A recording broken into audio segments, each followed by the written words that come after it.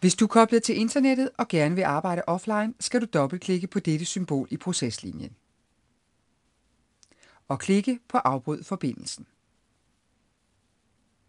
Forbindelsen afbrydes, og symbolet forsvinder fra proceslinjen. Du kan nu se, hvilke websider der er tilgængelige offline ved at pege på deres link med musen.